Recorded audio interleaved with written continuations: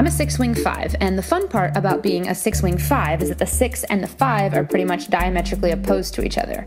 One example of this is loyalty to versus skepticism of institutions. I want to align myself with a movement for stability, but I also fundamentally mistrust everything.